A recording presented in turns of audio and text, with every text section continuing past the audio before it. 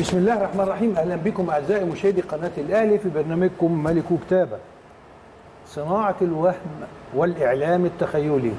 إبراهيم. أهلا بيك يا باشمهندس. أهلا بيكم أعزائي المشاهدين. وموعد يتجدد معكم والحلقة 660 من برنامجكم ملك وكتابه حلقة الاثنين حلقة مهمة جدا تتعرض لكثير من هذه النماذج التي أشار إليها المهندس عدلي سريعا. سريعا كده. آه. الموضوع بقى يعني مثير لل- للسخرية. أن الكثير من الأخبار لا أساس لها من صحة بل الكثير من الأوضاع اللي بتستقر يعني عملية صناعة النجوم ها؟ وإن إحنا نخليها تتحط في حتة تانية أو هدم النجوم. يا صناعة النجوم يا هدم النجوم. مفيش حاجة واخدة حجمها. وبعدين نزعل لما اللعيبة آه، تبتدي يعني تتصرف بطريقة وكأنها صدقت هذا الوهم. وكأنها صدقت الوهم. عارفين لما كنتوا بتتفرجوا على الماتشات تلاقوا الإعلان التخيلي؟ كان في إعلانات تخيلية لما جت مصر كانت الناس بتستغربها قوي يا باشمهندس. تلاقي ورا الجون أنت شايف وأنت بتتفرج على الماتش في التلفزيون شايف لوحات إعلانية. لأي سلعة وبعدين تعتقد أو فعلا أنت شايف إن هي إعلان. حاجة خشبية موجودة وعليها الإعلان فجأة تلاقي اللعيب راح داخل فيها وما حصلوش حاجة. إلى أن اكتشفت الناس إن ده إعلان تخيلي بصور تخيلية. للأسف جزء كبير من الإعلام الرياضي تحول إلى إعلام تخيلي. إزاي تكذب الكذبة إزاي تطلق الإشاعة والناس تبني عليها وتنشغل بيها وتتبني عليها آراء. عشان كده ومش يمكن إحنا النهاردة- بنقول الإعلام مش بالإعلام اللي- هو التقليدي. لا. هو جزء منه بقى الإعلام ال- الشعبي اللي هو السوشيال. ميديا وآراء الناس. الجديد. ده الإعلام التخيلي وفي كتير من النماذج الفاضحة والكاشفة والكاسفة الحقيقة. هنتعرض لها النهارده مع حضراتكم في هذه الحلقة وهذه أبرز عناوينها. مقالي ومقال المجد في يد الفراعنة. الغربال والعشرة ممكن. بعضمة لسانه هو الكلام عليه جمرك. الشموع الحمراء مكاوي عم الكباتن. أسرار الملك جده حين يعتزل. وأخيرا مجلتنا من أربعين سنة. ده المحتوى بتاع النهارده وإن شاء الله نتمكن نناقش كل التفاصيل مع حضراتكم لكن البداية كما تعودت مقالي ومقال المجد في يد الفراعنة. بكرة بإذن الله تعالى أو الأربع بإذن الله تعالى تحتفل مصر ويحتفل العالم كله مع الرياضة المصرية باستقبال بطولة كأس العالم لكرة اليد في دورة التحدي الكبير. انه في هذه الظروف وهذه الجائحة مصر تنظم كأس العالم. طبعا تحديات بتقبلها وبتق- وب- بتسعى إليها الإدارة العليا المصرية زي ما عملنا كأس الأمم الأفريقية أيوه. زي ما عملنا تصفيات الم- ال- ال- ال- اللي هي ال- ال- ال- الأولمبية. الأولمبية.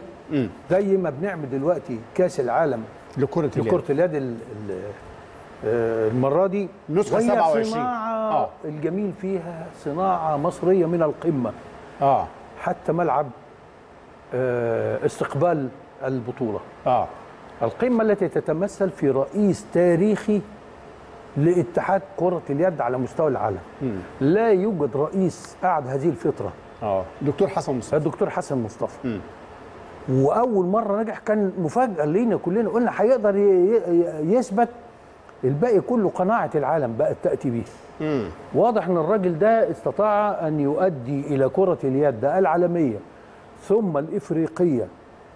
آه، يعني أكتر من كأس عالم آه، للناشئين. للكبار. مرتين آه، مرة ناشئين ومرتين آه، للكبار. تونس خدت كأس العالم.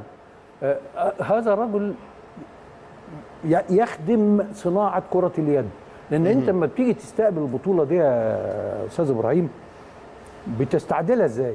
مش بس أوتيلات واستقبالات وتسهيلات و... لكن البنية التحتية والبنية الأساسية وثقافة الشعب إنها تتهيأ لاستقبال هذا الحدث. إنك تضيف ثلاث صالات جديدة. هتشوف إبداع هتشوف إبهار هتشوف التوقيت اللي تم فيه الكلام ده هتشوف حجم التحدي وأيضا إنك أنت العالم دي كله جوانب من الصالات يا جماعة. بصوا بقى الإضافة الكبيرة جدا للبنية التحتية الرياضية المصرية. اتفضل. آه لا وبعدين العالم كله يتهرب من إقامة المسابقات ال- الدولية. آه. وأنت بتتلقفها. آه.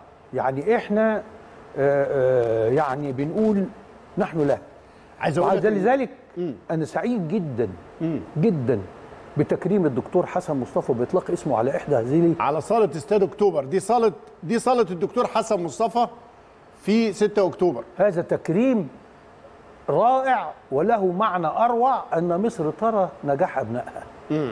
وتثمنه وتكبره. أنت بتكبر ابنك قدام العالم. هذا المسمى سيبقى خالدا. خلاص اتناقش. اسم الدكتور حسن مصطفى في وجدان الرياضة المصرية من خلال آه، كرة اليد. وكرة اليد يعني بهذه المنظومة انت بتضيف صالة إيه الجمال ده؟ صالة الدكتور حسن مصطفى ب 6 أكتوبر صالة برج العرب صالة العاصمة الإدارية. إن مصر تنشئ العاصمة الإدارية هذا ال- ال- ال- ال- التطور ال- المعماري الجديد جدا فتنشئ فيها صالة تستقبل البطولة. أنا اتكلمت على العاصمة دي مدينه الإدارية. رياضية متكاملة. أنا اتكلمت على العاصمة الإدارية خطف كده. آه.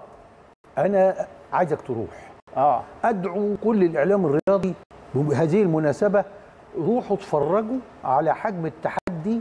مم. إنك بتنشا بتنشئ آه، عاصمة سوف تستقبل هذا العام. كل المؤسسات الحكومية والرياضية خلاص جاهزة. أنت تستقبل بطولة فيها في, في, في مجمع رياضي عملاق. ماشي. البطولة تمهيد لهذا آه. الاستقبال. ونتمنى أن يكون بجمهور في ظروف أحسن عشان الناس تتفرج. عايز أقول لك إن مصر كانت مستعدة بإجراءات احترازية مشددة لاستقبال جمهور. أمال إيه؟ الاتحاد الأوروبي هو اللي صمم إنه يبقى بدون جمهور. خلاص إحنا مع آه، آه، ال- ال- يعني القناة الدولية. مم. اللي عايز أقوله إنك أنت هتوري الناس أنا عملت هذه المدينة في وقت قياسي دون أن تتكبد الدولة مليم من ميزانيتها. مم. هذا تحدي غير معقول ولما اتقال من ثلاث سنين أو أربع سنين الناس خدته باستخفاف. مم. لكن آه، الرئيس ما عندوش حاجة آه، فيها استخفاف خالص. مفيش آه آه، يعني آه، لازم تصدق كل كلمة بيقولها وتشتغل على قدرها بدل ما تخلص بعد ثلاث أيام تخلص بعد ثلاث ساعات. وتخلص. وتخلص. آه والناس تتحط تحت ضغط. بالظبط وتنجح. بالظبط اذا الله طب ما إحنا نقدر معايير أهو. التحدي العاليه بقى. ما إحنا نقدر أهو. صحيح، ما إحنا صحيح. نقدر أهو. صحيح. آه كمية الطرق والخدمات في المواصلات آه، اللي أنشئت للتخديم على الكلام ده هتذهل. طب ما تروح ناحية مدينة نصر ولا تروح ناحية مصر الجديدة ولا تروح على ال- اللي حوالين القاهرة الكبرى كلها عشان تخدم أنا عاجبني جدا عاجبني جدا مصطلح رفع جودة حياة المصريين. خلاص ما أنا بقول لك. آه quality بتاع بترفع الحاجة. جودة الحياة. في غلاء. أيوة، طبعا. بس خدنا ما يقابله. صراحة يعني. آه. في quality لا الكهرباء بتتقطع ولا المية بتتقطع جودة ولا الحياة بكل- جودة الحياة. بكل بتمشي في. شوارع صحيح، حلوة. صحيح. بت بت حتى في الملف الصحي الملف التعليمي فيه تحديات.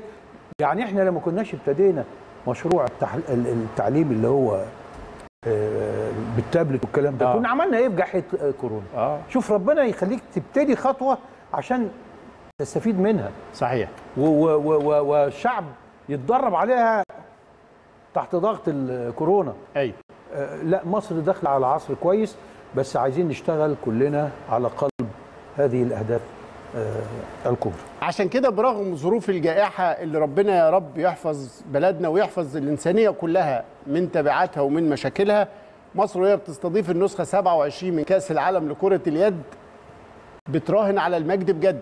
بتراهن إن بكل هذه الظروف الصعبة اللي بتجتاحها العالم مصر تنظم البطولة وتستقبل وفود كل الدول المشاركة.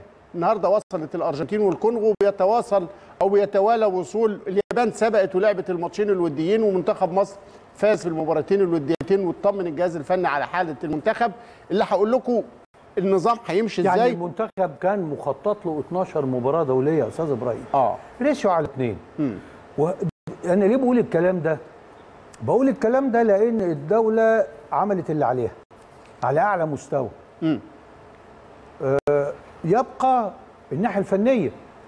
يا رب يكون حظ كرة اليد أحسن من كرة القدم. إن إحنا عشان يعني يظل هذا الحدث في قلب وجداننا صحيح نكمل لحد الآخر بنتائج تليق بالمنتخب المصري رغم الصعوبات. طيب عشان تتفرجوا وتتابعوا البطولة كده وأنتم إن شاء الله فرحانين بمنتخب مصر وداعمين ليه بإذن الله أقول لكم ان مصر بتلعب في المجموعة السابعة هتلعب مع شيلي يوم 13 مع التشيك يوم 16 ومع السويد يوم 18 منتخب مصر بيلعب في المجموعة السابعة بينما في المجموعة الأولى فيها ألمانيا والمجر والاوروجواي والرأس الأخضر والمجموعة الثانية فيها أسبانيا وتونس والبرازيل وبولندا. الثالثة فيها كرواتيا وقطر واليابان وانجولا الرابعة فيها الدنمارك والأرجنتين والبحرين والكونغو الديمقراطية. والخامسة فيها النرويج والنمسا وفرنسا والولايات المتحدة الأمريكية. بينما في المجموعة السادسه البرتغال والجزائر وأيسلندا والمغرب المجموعة السابعة زي ما قلت لحضراتكم مصر وعشان تحفظوا ماتشاتها يوم 13 و16 و18 13 16 18 13 مع الشيلي التشيك مع معانا يوم 16 والسويد معانا يوم 18 في المجموعة الثامنة سلوفينيا وبيلاروسيا وكوريا الجنوبية وروسيا. الثمان مجموعات كل مجموعة بتلعب الفرق مع بعضها يعني كل فريق هيلعب الثلاث مباريات. هيصعد ثلاث فرق من كل مجموعة. من المجموعات الثمانيه يعني هيبقوا 24 مجموعة. 24 فريق هيتأهلوا للدور الرئيسي. الثاني هيتقسموا إلى مجموعات المن... السبعه والثامنه هيقعوا مع بعض. يعني إحنا في الدور الجديد هيطلع من مجموعتنا ثلاث فرق من الفرق الأربعة هيبقى معانا ثلاثة من الأربعة اللي في المجموعة الثامنه روسيا وكوريا الجنوبية وبيلاروسيا وسلوفينيا. الأربعة دول فيهم ثلاثة هيقعوا معانا عشان تبقى دي مجموعة الست منتخبات. النظام معقد. آه. تفاصيله هنتركه المتخصصين قوي مم. لكن عايز أعلق بسرعة على المجاميع. أيوه. يعني المجموعة الأولى مجموعة متوازنة المجموعة الثانية يعني أصعب شوية. المجموعة الثالثة أسهل شوية. المجموعة الرابعة أسهل خالص. آه، ما فيهاش إلا الدنمارك. أيوه. الباقي كله عنده حظوظ. أيوه. آه، المجموعة آه، الخامسه النرويج آه، فرنسا دي مجموعة النمسا ال- لا النرويج وفرنسا طبعا أقوى آه، آه، اتنين. المجموعة السادسة بقى كنت أتمنى إن أنا أكون فيها آه، بدلا عن آه، يعني آه، آه، البرتغال الجزائر أيسلندا المغرب. أيسلندا هي وأعتقد إن ايسلندا بس والجزائر عايز أقول لك على حاجة في القرعة في نظام البطولة الجهاز الفني للدولة المستضيفة من حقه يختار المجموعة. فاختار المجموعة السابعة بص يا أستاذ لحسابات. المجموعة الثامنة. يعني هو باصص على الدور الثاني يلعب مع مين؟ هو باصص على الدور الثاني. أيوه. وعايز يحقق المفاجأة في م... يعني هو دلوقتي هيلعب مع شيلي في آه. الافتتاح. أيوة. يقول لك أنا أكسب شيلي. أكسب مباراة كمان يبقى دخلت أول أو ثاني ف... ف... فطبعا هي هي مخاطرة محسوبة. لكن لو لو نجحت هتريحها جدا في المشوار اللي بعد كده. إنما. بيلاروسيا كوريا الجنوبية روسيا دي بقى المجموعة اللي عليها علامات استفهام. إزاي روسيا آه، يعني مش على رأس مجموعة؟ دي كانت بطل عالم في يوم من الأيام. طيب اذا الأربعاء مساء الأربعاء هتستمتعوا بحفل افتتاح البطولة. مصر وهي تتحدث عن نفسها مصر وهي بتستقبل ضيوفها مصر وهي بتتحدى كل الظروف الصعبة ومصر وهي تعلن عن نفسها. مصر الجديدة مصر الرياضية مصر بكل قدراتها بتستضيف دول العالم في هذا المحفل الرياضي الكبير. مش غريبة على مصر في هذا التحدي الكبير لأنه كمان رئيس الوزراء الدكتور مصطفى مدبولي لعب كرة يد سابق. هو لاعب طبعا. وهو رئيس اللجنة العليا للبطولة فبالتالي كره يد سابق الكره في ملعبه. لا طبعا شوف. كرة اليد آه. بتحظى باهتمام آه، صحيح. يعني ومشرفة. غير مسبوق. إنما طبعا مصر كانت مجهزة لمباراة الافتتاح تجهيزات آه، طيب خليني بقى أقول لكم مفاجأة حاجة مسعدة بجد يعني. الأهلي مش عظيم عشان بيكسب. ده بيكسب لأنه عظيم. يعني عظمته هي سر انتصاراته. مش انتصاراته هي اللي صنعتها آه، أو صنعت عظمته. فاكرين المقولة دي اللي سرقها المهندس عادل سرقها من مين؟ وأنا قلت لكم الكلام ده من أكتر من مرة. من عدل القيعي الكاتبة والشاعرة الغنائية الموهوبة بجد موجودة في حفل افتتاح كأس العالم لكرة اليد. موجودة بأغنية مبهرة جدا هيغنيها الفنان الكبير تامر حسني في أغنية البطولة. إذا منا عدل القيعي كتبت أغنية الافتتاح مؤكد إن أنت تعرف بعض الكلمات. لا أنا مش مش مش هقول كلمات لأن هم معتبرين مصريه تجديد معتبرينها مفاجأة لدرجة إن فيها مفاجأة فعلا آه. وتجربة جديدة في الكتابة برضه مش هقولها. آه. يعني أنا حتى ما بقول لها قالت لي من فضلك هم بلاش سرقة. مجهزين آه. آه، إن يبقى فيها. إنما هي يعني تجربة هايلة. آه، عاملة- تجربة هايلة في افتتاح بطولة طبعاً. كبيرة إن شاء الله. وتامر حسني عامل مفاجأة تعبر. عن مصر وعن الحدث يعني الكبير. عامل أع- أظن النهارده هيبتدي يذوعوها آه. هيبتدي يذوعوها آه، يعني آه، في في في في بادرة تمهيدية للترحيب بالضيوف. انما إنما هي فيها أكتر من هتشوف تامر حسني بيعمل إيه. وهنشوف منا كمان في إحدى. إبداعاتها المميزة إن شاء الله تعالى. في هذه اللحظة الكبيرة المهمة افتتاح كأس العالم لكرة اليد ليبقى المجد في يد الفراعنة. كلام مهم بعد الفاصل. أهلا بحضراتكم من جديد. قبل ما ندخل كده في الغريق بقى ونشوف الإعلام التخيلي وصناعة الوهم خليني أقول لكم في التطمينه على دفتر الأحوال الأهلاوية. النهارده بيتسو موسيماني اختار قائمة الفريق اللي دخلت الليلة دي معسكر استعدادا لمباراة الغد بكرة مباراة الساعة 7:30 مساء الثلاث مع الإنتاج الحربي. الاهلي في الصدارة بال 13 نقطة والإنتاج في المركز ال 16 بأربع نقاط. القائمة اللي اختارها مستر بيتسو موسيماني فيها محمد الشناوي وعلي لطفي ومصطفى شوبير وأحمد رمضان بيكهام وحسين الشحات ورامي ربيعة وسعد سمير وياسر إبراهيم ومحمود كهربا وحمدي فتحي ومحمد شريف ووليد سليمان وأيمن أشرف وبدر بنون واليو ديانج وطاهر محمد طاهر وصلاح محسن ومحمد مجدي قفشه وعلي معلول وولتر بواليا وأكرم توفيق ومحمد هاني. عودة محمد هاني بعد شفائه كما إن الدكتور أحمد أبو عبلة طبيب الفريق بيطمن الناس على الح- الحالة أو المسحة السلبية لكل لاعبي النادي الأهلي اللي خضعوا لها. وأيضا يمكن آخر حاجة كانت المسحة الخاصة بمروان محسن والحمد لله ثبتت هي أيضا سلبية. ده ما يخص لاعيبه الأهلي واستعدادهم لمباراة الإنتاج الحربي اللي هتكون بإذن الله تعالى في الأسبوع السابع الساعة 7 ونص. أيضا في يوم الثلاث بكرة سموحة مع البنك الأهلي المقاولين هيلعب مع سيراميكا كليوباترا. دي مباراة من الأسبوع الثالث المصري مع الزمالك وأخيرا الأهلي مع الإنتاج الحربي. النهارده تعادل بيراميدز مع وادي دجلة واحد واحد. عندك تعليق. على القائمه على القايمة؟ آه. القايمة هي خلاص ضمت معظم اللعيبة. يا رب بقى نفسي نفسي نفسي ندفد محمد محمود أشوفه. يجهزوا إن شاء الله. نفسي. هو النهارده كمان تم الاستقرار على انضمام أحمد ياسر ريان على سبيل الإعارة إلى سيراميكا كليوباترا لمدة ست شهور. وده قرار مهم جدا. الناس اختلفت. لا في حكمة بعض الناس في حكمة. مهاجم أحمد ياسر ريان مهاجم متميز. هو مستقبل رأس الحربة في النادي الأهلي ومنتخب مصر بإذن الله. بس عايز وقت كافي للعب عايز فرص كتيرة للمشاركة. وجود والتر بواليا ووجود محمد شريف ووجود مروان محسن والإبقاء على صلاح محسن. أيضا بنتكلم على أربع رؤوس حربة كلهم ما شاء الله بخبرات عالية جدا. فلما يبقى فيه مهاجم صاعد بهذا الشكل يا باشمهندس من المفيد؟ إنه يعار. شجاعة منه؟ آه. حكمة من النادي الأهلي؟ آه. الفرقة اللي رايح لها آه تقريبا مش هيحس بغربة. امم آه فأنا بقول لك آه خطوة بإذن الله تكون موفقة بالنسبة له لأن إحنا كل اللي يهمنا دلوقتي إن لاعبتنا اللي في المنتخب الأولمبي ياخدوا كامل الفرص. صلاح محسن بيلعب في النادي الأهلي بشكل معقول. واكرم توفيق بيلعب. وأكرم توفيق بيلعب. وبيكهام بيلعب. بيلعب. صحيح. ها؟ اللي كانت نتيجة الزحمة في الحتة دي مش نتيجة الكفاءة خالص.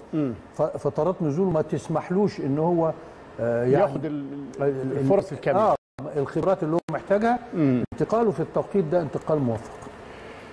طيب آه يوم الخميس زي ما قلت لكم هيبقى في أسوان مع غزل المحلة ويوم الجمعة في أربع ماتشات إنبي مع سيراميكا كليوباترا وطلائع الجيش مع وادي دجلة والجونة مع الاتحاد وبيراميدز مع المقاولين. دي يوم الجمعة. لجنه المسابقات في اتحاد الكورة أعلنت جدول المباريات لغاية الأسبوع ال 14 وده شيء جيد. يمكن مباريات الأهلي في الجولة التاسعة الأهلي هيلعب مع المقاولين يوم الخميس 21 يناير. ومهم جدا إن إحنا نقول لكم الأهلي هيلعب إيه قبل ما يسافر إن شاء الله تعالى إلى قطر نهاية هذا الشهر. الأهلي هيبدأ كأس العالم يوم 3 فبراير بإذن الله في العاصمة القطرية الدوحة.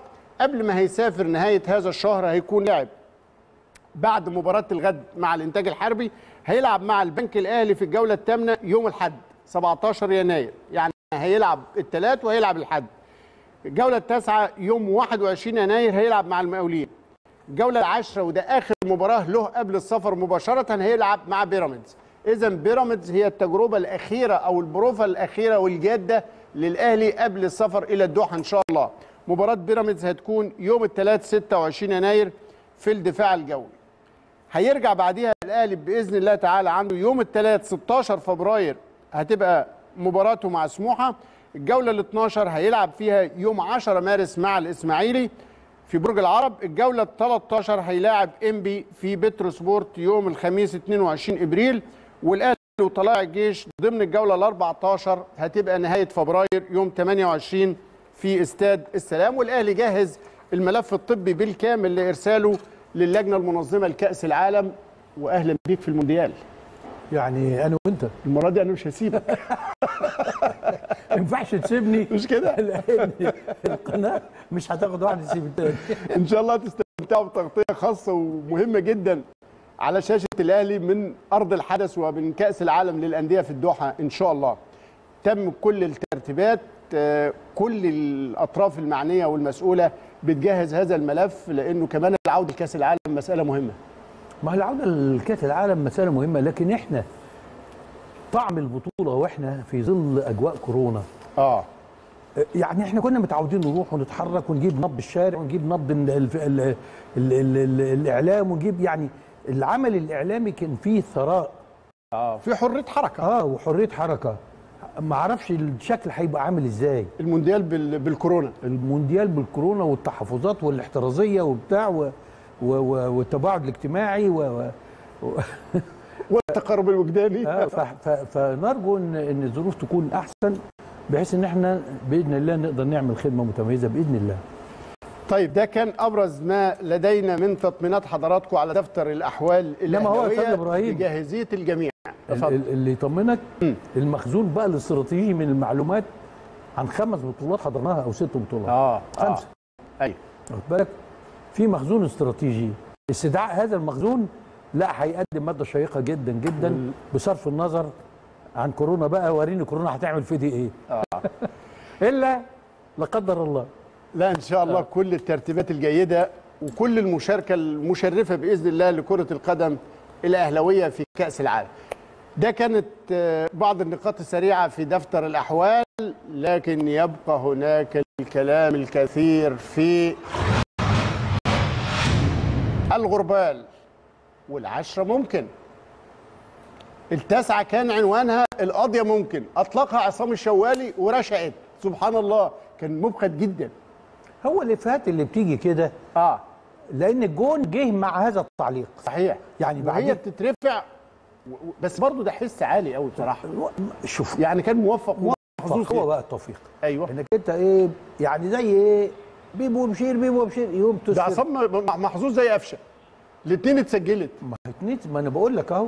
كابتن مدحت لحد النهارده بيبو بشير معاه. بالظبط. عملت فيلم. صحيح. الله يعني صحيح. ال- الافيه آه, آه، آه، والقضية؟ ممكن هتبقى فيلم برضه خد بالك. القضية ممكن لأن آه. هتستحضرها آه. أنت وغيرك. خلاص. مش هتبقى حكر عليك.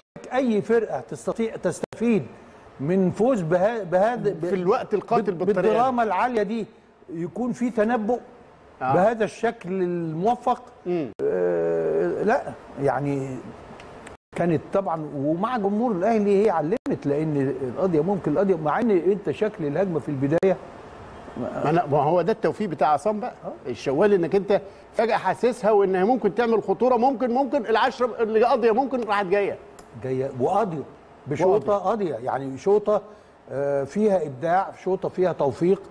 إنك تاخدها على فخدك وفي تايمنج أنت بتقتحم بين اتنين لعيبة وبعدين تاخدها. وقبل ما تنزل على الأرض تاخد قرارك إنك تشوط. أنت أنت كنت رائع لما لاحظت إن بن شرقي وهو باصص باصص للزاوية. اللي راح هي فيها. كورة. آه هي دي. باصص على الحتة اللي رايحة لها. آه. آه صحيح.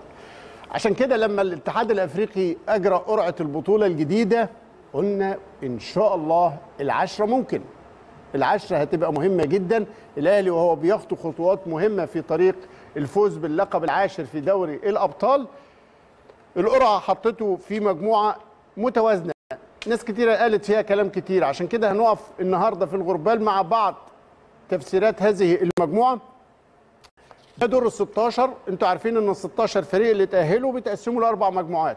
كل مجموعة فيها ال- الأربع فرق والأربع فرق هيصعد الأول والثاني لدور الثمانيه اللي وقتها وده اللي بنأكد عليه لحضراتكم وقتها هتتعمل قرعة جديدة. يعني الفرق هيصعد أول وثاني كل مجموعة هتتعمل قرعة جديدة لدور الثمانيه اللي هيبقى بنظام خروج المهزوم. لأن الناس كتيرة انشغلت طب المجموعة الأولى اللي هيصعد هيلاعب مين؟ المجموعة أنهي؟ لا هتبقى قرعة.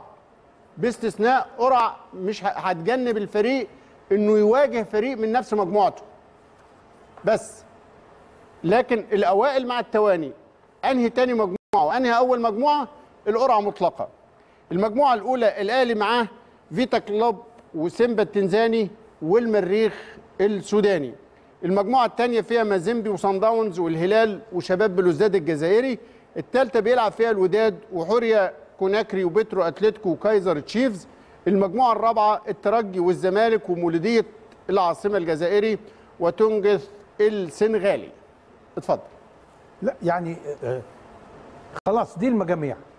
ومساله التوريق وهتبتدي إمتى؟ بتاع كل ده أنا ما بتوقفش عنده لأنه الناس كلها هتاخده من ذوي الاختصاص ما حدش هي هي في نقطة في إنما أنا- الجولة الأولى الحقيقة لأنه كمان الأهلي رايح بطولة كأس العالم للأندية. البطولة هتخلص 13 13 فبراير الاتحاد الأفريقي حاطط للأهلي مباراة في الجولة الأولى يوم 2 أو 3 أو 12 أو 13 فبراير عشان كده دي جولة هو- بإذن هو- الله الأهلي يكمل هو بقى في هو كأس العالم؟ هل الاتحاد الأفريقي يراهن على إيه؟ إن الأهلي مش هيكمل آه هو يعني- بيحط ميعاد لو ما لو ما كملتش آه. المباراة موجودة طب بإذن الله يقدر الله وتحدث ويكمل مم. حتى يكمل قريب من هذا الميعاد مش ضروري يكمل على يعني. آه لو دخلت الدور قبل النهائي برضه يبقى مباراتك لازم تتأجل مم. في كل الأحوال.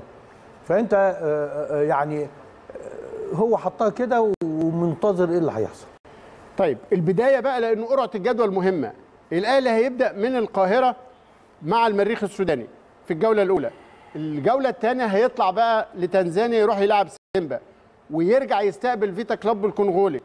وبعديها على طول فيتا يروح لفيتا كلوب. يعني المجموعة الجولة الثالثه والرابعة ورا بعض مع فيتا كلوب الكونغولي ثالث مباراة تملي كده. آه، تخلص ثالث مباراة نهاية الدور وبداية. الدور. آه. المريخ الأهلي هيلعب في أم درمان في إبريل في الجولة الخامسة. هيختم البطولة أو الجوله أو المجموعات في الجولة السادسه 9 أو 10 إبريل في القاهرة مع سيمبا. اذا الأهلي يبدأ في القاهرة وينتهي في القاهرة. يبدأ مع المريخ وينهي مع سيمبا التنزاني. دي يمكن أبرز وأنا آه، بس عايز أقول التعليق على المجموعة دي. آه. لأن في ناس هم هم كل سنة الأهلي في المجموعة الضعيفة. وكان البطولة بتحسم في المجموعة. يعني اللي كل واحد بيعلق بيتكلم. أنت بتتكلم يعني هو الأهلي والزمالك لما يقعدوا يتكلموا في المجموعة القوية والمجموعة ال- ال- الضعيفة يستحق انهم يفكروا في اللقب. ما حدش يفكر بالطريقة دي. أهلي وزمالك لما يخشوا مجموعات يبقى ايا كانت المجموعة المفروض إن حظوظهم في التأهل تكون موجودة. فمسألة الضعيفة والقوية ما حدش عارف هو المريخ بتاع السنة دي هو بتاع السنة اللي فاتت؟ لا. شوف اتأهل إزاي ونتائجه كانت عاملة إزاي. طب خلينا أقول برضو كل فرقة من الفرق الأربعة اتاهلت إزاي؟ لأنه ده ممكن يديك مؤشر على مستوى ال- الفرق. الأهلي طبعا في دور ال 32 فاكرين كسب سنديد بطل النيجر 1-0 و4-0 وما شاركش في الدور التمهيدي الأول. المريخ تأهل من الدور التمهيدي عمل فوز على أوتوهو دويو بطل الكونغو 1-1 و2-0 لكن كمان المريخ عشان تعمل له ألف حساب هو تأهل لدور المجموعات على حساب مين؟ إنيمبا النيجيري.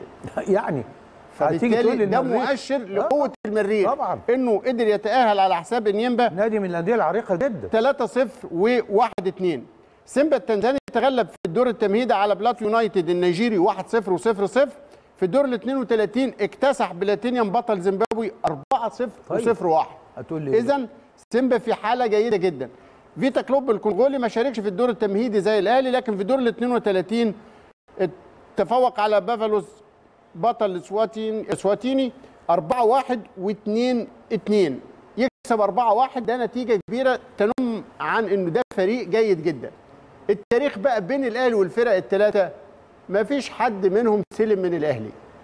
طوال تاريخ الأهلي في البطولة الأهلي قابل كل فريق سواء فيتا أو أو سيمبا أو المريخ تغلب عليه. تبقى الحساسية العربية في هذه المجموعة لقاءات وادي النيل. الاهلي والمريخ السوداني. المريخ في السودان بيعتبروه زمالك السودان زي ما الأهلي بيعتبروه أو الهلال بيعتبر أهل الخرطوم أو الأهلي السوداني. طيب إيه اللي ممكن يحصل مع واحد مريخابي قوي وأهلاوي جدا؟ إيه رأيك؟ لو أنت. تخيلت موجود معاك على التليفون إنه إيه؟ مريخابي قوي وأهلاوي جدا. هيعيش الحدث إزاي؟ معنا على الهاتف الاعلام السوداني الكبير الأستاذ السر أحمد جدور. يا أستاذ مساء الخير. مساء الخير عليك مساء الخير عليك يا أستاذ إبراهيم.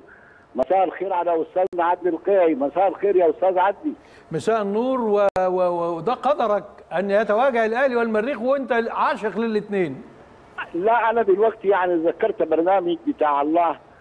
ما بعرف آه، الله يدي الله يديه العافيه والصحة. آه. طاهر أبو زيد مطبات على الهواء آه. آه الإذاعة الكبير طاهر أبو زيد. آه. أيوه مطبات على الهواء أيوه. فأنا دلوقتي على المطب على الهواء طوال فاكر إن إحنا عاملين لك مطب؟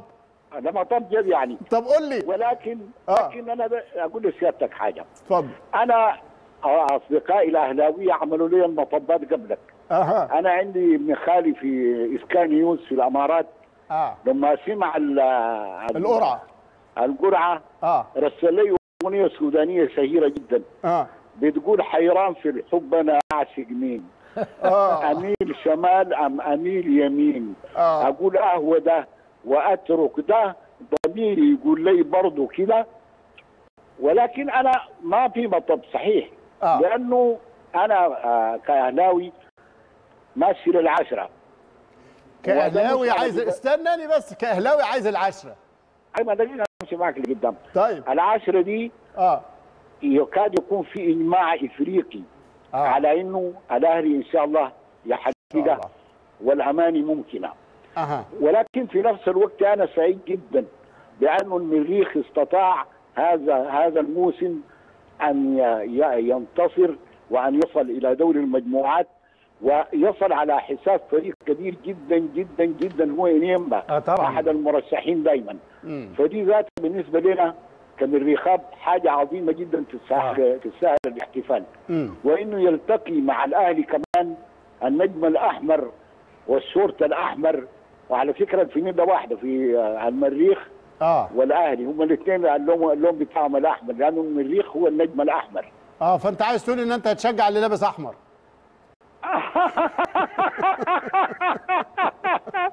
بس. برضه قول لي. لا. آه. نعم. آه. يعني آه، ال- ال- المساله بالنسبة لي أنا أو بالنسبة للمريخاب آه. والأهلاوية إنهم عندهم احتفال هذا هذا الموسم. آه. إنه الفريق اللي بيحبوه ومن حسن الطالع إنه حتكون المباراة البداية هنا. مع مع الأهلي. أيوه وأتمنى أيضا زي ما كان الختام بتاع الموسم المنتهي كان ختام في شمال الوادي أن يكون الختام الجديد يجمع شمال وجنوب الوادي والمريخ يستطيع زي ما تغلب على نيمبا أن يصل إلى المباراة الختامية. وفي ذلك الحين أقول قول الخليفة السحابه مرت حيث ما نزلت أتاني ريحها. آه. انت أنت شايف. إن القدر قد يسعدك السعادة الجامة بتأهل الأهلي والمريخ. جدا ويصلوا المباراه النهائيه آه.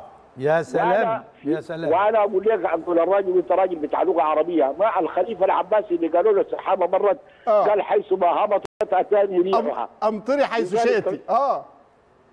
ولذلك الوقت يكون حيث ما هبطت أتانا ريحها صحيح. طيب بس ما أنت تتمنى إن هم يلعبوا فاينل أنت فاكر إن أنا هسيبك من غير ما أعرف في الدور ده في دور المجموعات؟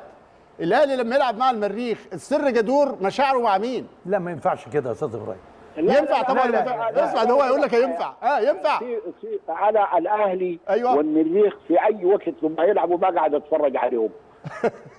بتفرج في أنا لعاب بس لا عايز أروح لحاجة أهم يا اتفضل. أخي العزيز السر نعم. إن عايزين بإذن الله المباراة دي تكون داعمة داعمة للعلاقات الأخوية آه، مش عايزين حد يعبث في هذه العلاقة زي ما حصل السنة اللي فاتت. آه، كان في كان في لا، لا، لا، كان في ايدي. خفية. في ماتش الهلال. مش خفية للأسف كنا شايفينها وهي تعبث في العلاقة بين الهلال آه، والأهلي ودي علاقة تاريخية. آه فأرجو أرجو أن يمهد الإعلام المصري والإعلام السوداني إن اللقاءين يبقوا على قدر آه، ما نكنه حقيقة بيننا وبين بعض آه، كأشقاء لبعض.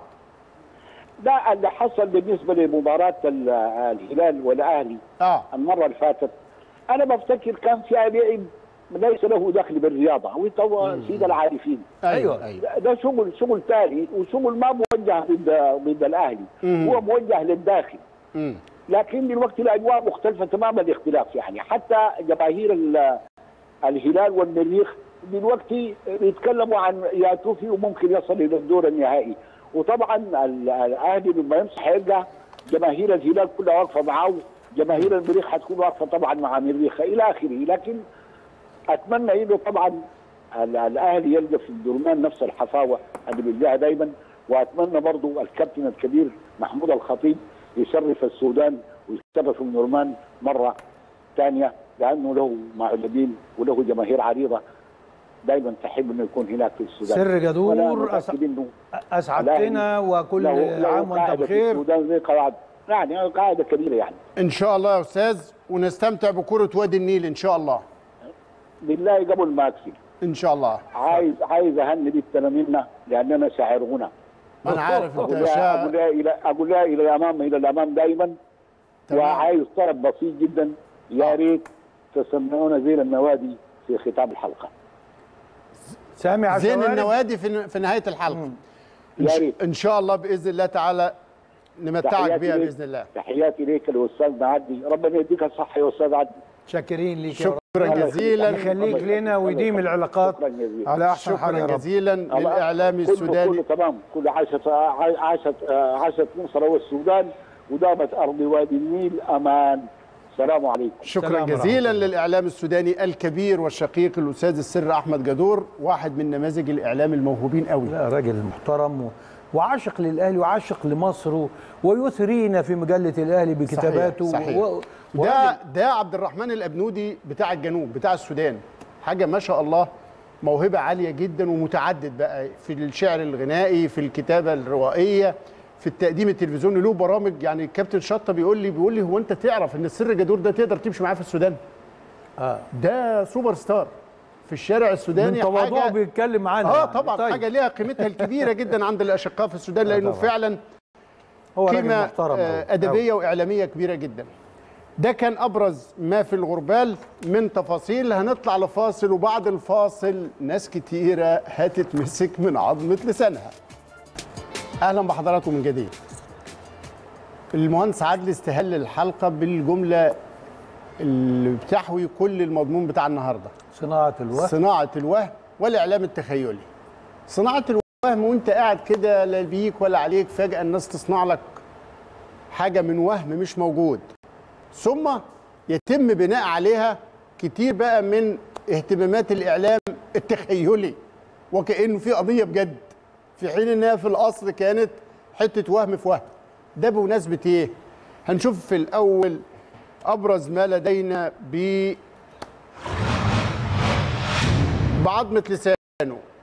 هو الكلام عليه جمرك. فعلا الكلام معلوش جمرك. بس الكلام لما يتحول يا باشمهندس إلى صناعة وهم يبنى عليه وتظهر من خلاله مواقف وتوجه من خلاله جرعات لوم كبيرة جدا نبقى في وضع غريب. هو هو كلمة ال ال الكلام معلوش جمرك. آه. دي كلمة ساخرة. آه طبعا. اللي عايز يقول يقول. ما آه. طالما إن معلوش جمرك هلفط بالظبط. اكذب. آه. آه، ألف. ألف. ادعي. مم. قول الحق. خليك. جريء. آه. آه. يعني كل ده, ده كل ده كلام طالما إن ما حدش بيحاسب عليه هو أيوه. ما حدش بيحاسب حد. مم. ما حدش هيتكلف حاجة. والحساب هنا يبدأ من حساب الرأي العام اللي يفقد الثقة والمصداقية للشخص إلى حساب الجهات المسؤولة عند الخروج عن المألوف إلى القانون نفسه عندما يتصدى.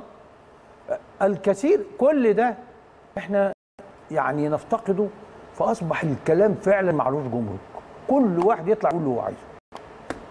الطبيعي إن الكلام معلوش جمرك. لكن الكلام لما يمس كيانات شعبية وجماهيرية ومشاعر ناس وعلاقات أندية لا يبقى عليه جمرك كبير. يبقى عليه جمرك كبير صاحب الشأن المعني بهذا الكلام بيدفعه. بيدفعوا من صورته الذهنية بيدفعوا من قيمته بيدفعوا من علاقاته حتى مع منافسيه ودي الضريبة اللي بتدفع. عايز أقول لكم إنه من كام يوم طلع الزميل العزيز الأستاذ سيف زاهر قال إنه النادي الأهلي بيبحث عودة لاعب أو إعادة لاعب من نجومه اللي راحوا بيراميدز. وإنه في ثلاثة من رجال الأعمال الأهلاوية متضايقين جدا إن ده حصل وبيجمعوا فلوس وبيجمعوا قعدتهم مع بعض وناويين يرجعوا هذا اللاعب. الناس كلها راحت. ما أنتوا عارفين اللي راح الأهلي من أو راح من الأهلي البيراميدز شريف إكرامي ورمضان صبحي وأحمد فتحي. ثم سريعا بدأ الكلام عن رمضان صبحي. ليه ديت صناعة الوهم؟ أنا سألت الكابتن أمير توفيق قبل ما أجي وأمير الراجل المسؤول الأول عن التعاقدات بمجرد ما بقول له هل في حد طرح إمكانية يتفاوض على عودة رمضان صبحي؟ قال يا باشمهندس وهو في حد يجرؤ يقول كلام زي ده؟ مجرد أن يجرؤ أحد بطرح هذا الأمر أو هذا المقترح ده مش موجود. عشان تبقوا فاهمين هذا الكلام غير موجود إلا في أذهنة أو أذهان وادمغه القائمين على إطلاق هذه الإشاعة. هدفها إيه؟ سببها إيه؟ تفسيرك إيه؟ بص الكلام كده آه. مش بس في مصادرة على الاهلي وعلى مواقفه ها؟ لا ده في تجرؤ وتجاهل لحقوق نادي بيراميد نفسه. امم وكأن الأمر لو الاثنين دول اتفقوا خلصت الليلة. آه الزوج الجديد ده ملوش لازمة. مش في طرف تاني آه. يعني عرض مئات عشرات الملايين في صدمة للوسط الرياضي آه. من أجل تحقيق طموحات كما لاجل قيل. تحقيق الطموح. آه يعني كما قيل. آه. فهنا أنت زي ما تيجي تكحلها فتعميها. امم الكل الناس طالعة بقى إيه شوف ده خبر طبعا أنا ما أعرفش مصدره إيه. امم هل مصدره إنك كنت آه، الكابتن سيف سهران مع حد من رجال الأعمال الأهلاوية؟ قالوا له لا ده إحنا بقى هنتدخل ومستعدين نعمل ونسوي. طب هو رمضان عنده مانع؟ لا رمضان ما عندوش مانع. هو هيبقى عنده مانع ليه؟ ما هو ده اللي يحل المشكلة. طب والأهلي ما عندوش مانع؟ لا والأهلي هيكون عنده مانع ليه؟ قاعدة كده. ما إحنا هندفع لا فيها مسؤولين ولا فيها مسؤولين من هنا ولا مسؤولين من هنا. وحدوته بتتصدر الرأي العام في تصوري لسبب قعدت أدور على السبب. امم لحد ما لقيت ردود الأفعال وهالاني موقف رغم إنه مش مفاجئ ولكنه هالاني موقف الأستاذ عمرو اديب امم في مداخلة وجه اللوم. كعادته. آه. هو عمل مداخلة مع الصحفي آه، خالد الإتريبي زميل عزيز آه. اللي رد عليه الحقيقة ردود موضوع بموضوعية ووضوح. جدا جدا. إنه يقتنع يقول يا سلام يعني بس بقى وزعيق وصريخ و... و- حنانيك يا عم عمرو في إيه؟ إيه هو عمل إيه يعني؟ ما حقه. أيوه أنا عايز بس أقول للناس أنا ليه فتحت الموضوع ده. أيوه. يمكن أنت مش هتعرض ال- الفيديو ده لعمرو الاستاذ عمرو أديب لكن هو سؤال كل ما يجي سيرة آه، الكابتن آه، موقف الكابتن آه، رمضان وعلاقته بالجماهير والكلام اللي بيحصل اولا ما فيش حد طلع من النادي الأهلي هاجم الكابتن رمضان خالص ولا علق على موقفه. نمرة اتنين موقف الجماهير أو بعض الإعلام على ال social media مين يقدر يسيطر عليه؟ واحد بس اللي يقدر يسيطر على الإعلام ده. ويحدد موقفه من الكابتن رمضان صبحي. مين هو؟ الكابتن رمضان صبحي. لأن الناس وهي تتحدث ما يصحش الجمهور تعمل كده. معايا لعيب بقى. عايزين نبعد شوية عن الكابتن رمضان. معايا لعيب. هو إيه التنمر ده؟ هو إيه العنصرية دي؟ هو إيه الكلام ده؟ أنتوا دائما تناقشوا موضوع رد, رد الفعل. الفعل. لكن لم يناقش أحد. هل من حق اللاعب إنه يستفز ويتحدى و و و وهس. وس و آه؟ وهس. ما هو اللي نصحه واللي عمل اللي كان عايز يكيد مش ما كانش الكابتن رمضان. اللي قدمه بالصورة دي. اللي عايز يحتفل إنه أكنه فتح عكه ويفهم الإدارة عنده ده أنا عملت حاجة. فعمل له يعني حد يعني تخيل لويس فيجو. وينتقل من برشلونة إلى ريال مدريد والدنيا مقلوبة. طلع قال لبرشلونة هص لا يمكن ده يتعمل في مؤتمر تقديم لاعب. طبعا. أنت بتقدم اللاعب عشان تلبسه الفانيلا. البروتوكول إنه بيشكر ناديه السابق. هم هو لو كابتن رم... تعالى نتخيل بقى. نعم. الناس اللي بتقارن بين موقف كابتن أحمد فتحي لأن خبرات كابتن فتحي آه كتيرة وشورته من دماغه. شورته من دماغه. كابتن رمضان الله أعلم مين بيشور عليه. إنه يقول له اطلع قول هوس وبعدين لما يسألوك قول والله أصل أنا سايب الأهلي رحت طموح وانت سايب الأهلي؟ را... رايح ليفربول. الأهلي وراح ما أنت لو رايح ليفربول تقدر تقولها. آه طبعا. لما قلت أنا هسيب النادي الأهلي وأروح إنجلترا في أي فرقة هيدرسفيلد أنا هرجع هيدرسفيلد عشان الطموح. أيوه. آه، إنك أنت تتالق في هيدرسفيلد وتتنقل لنادي أكبر. نصدق. إنما في إفريقيا تتنقل لمين عشان يحقق لك طموح أكتر من نادي إفريقيا؟ مش في مصر. تتنقل لمين؟ عشان يحقق لك أهداف وأنت قاعد معزز مكرم محبوب جدا جدا وبتجهز إنك تكون معشوق جماهير الأهلي. وكادر من الكوادر القادمة. ولما الناس شافتك في المنتخب الأولمبي وطريقة تعاملك مع زمايلك كابتن كويس قالوا أيوه هو ده الراجل ده هو ده اللي هيبقى يكمل معانا وهنعمل كده ولذلك النادي الأهلي ما بخالش النادي الأهلي دفع كتير جدا. كل مليم خده تقريبا رجعه. حتى في فلوس لسه ما حصلناش مش عارف حصلنا منها إيه. فهم سببين عدم الوضوح من الأول إن أنا لو اتقال الكابتن رمضان عنده طريق ثالث بقى. يا جماعة أنا صغير وعندي ظروف تقتضي إن أنا أعمل أحسن عرض مادي ليا. والله ما كان حد زعل في النادي الأهلي. طب يا كابتن رمضان؟ أنت اخترته ده حقك. لا ده و- هنا نقول حقه. آه آه. الوضوح. إنما أقعد مع رئيس النادي وأطلع أوحي إن أنا لن ألعب.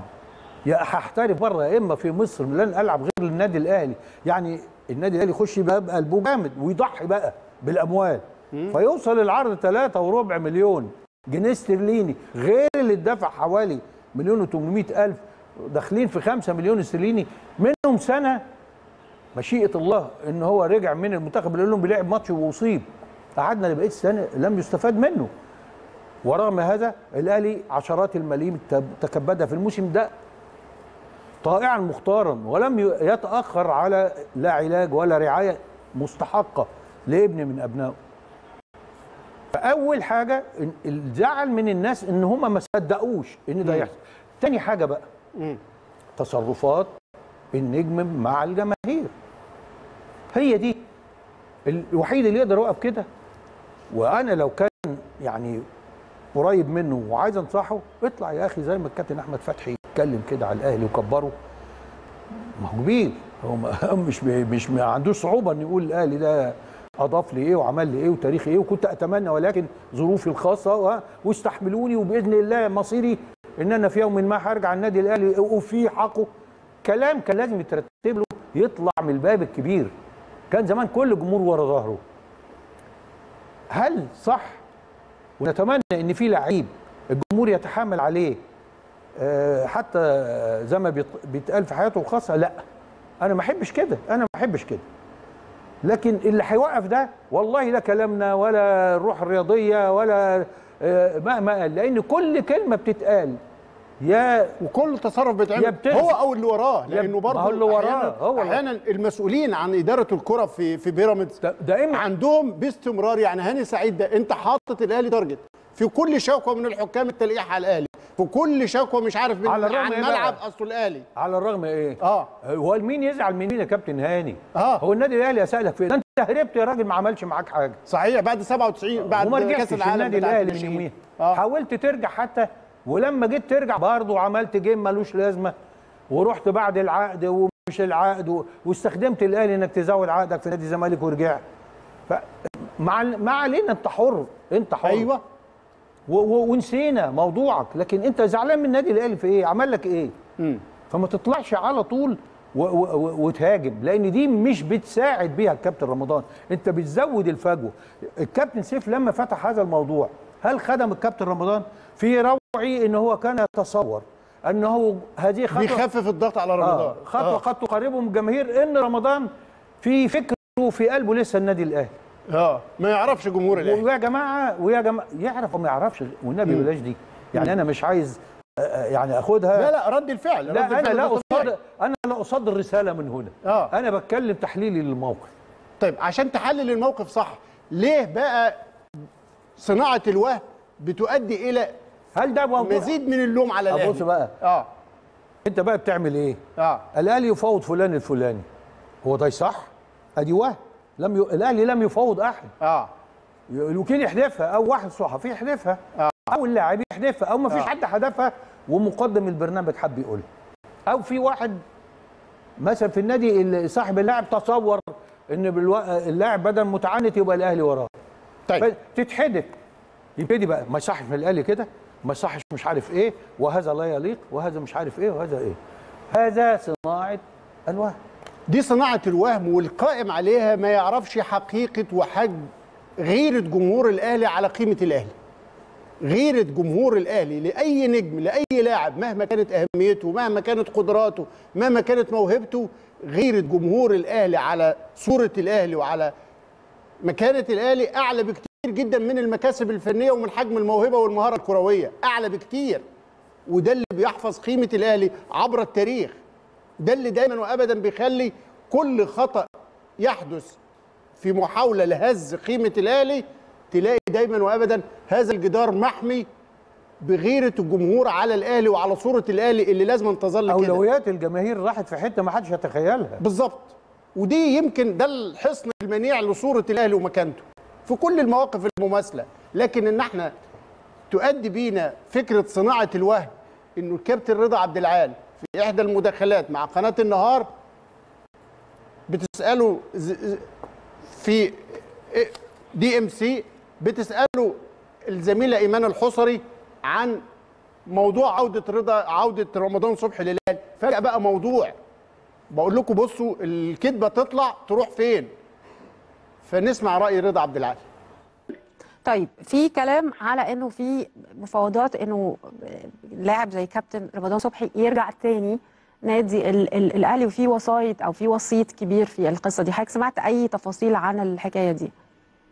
لا بصراحة ما سمعتش بس هو الراجل يعني اللي خلاه خد الخطوة دي خدها وهو مقتنع بيها تماما.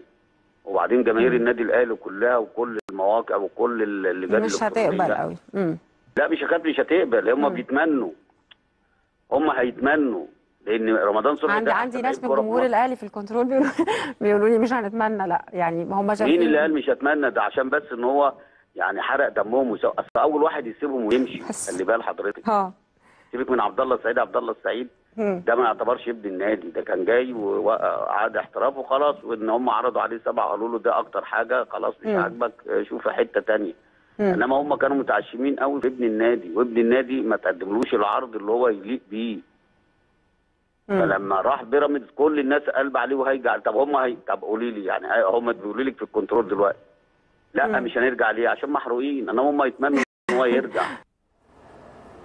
هو خبر غير حقيقي الجمهور بيتمنى. وتعليق تخيلي. آه. ما هو انت انت انت جبت منين؟ ان الجمهور عملت استفتاء يتمنى أو يرفض. يعني الرفض مبني على ثوابت وتواريخ آه، سابقة. واحداث سابقة.